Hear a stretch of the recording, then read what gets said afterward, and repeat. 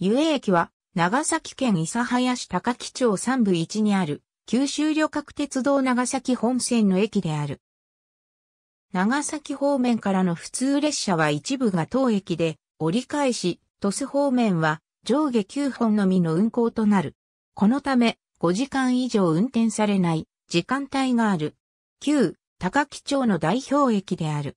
ホーム駅舎に接して単式ホーム一面一線と島式ホーム一面二線、合計2面3線のホームを持つ地上駅。ホームは古線橋で連絡している。一線スルーではない。駅舎は国道側ではなく北側にある。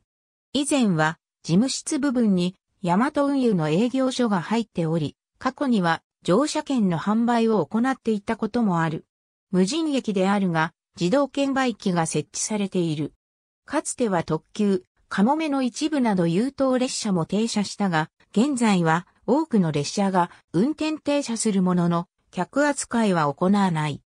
島原鉄道100年史島原鉄道2008年116ページ通報。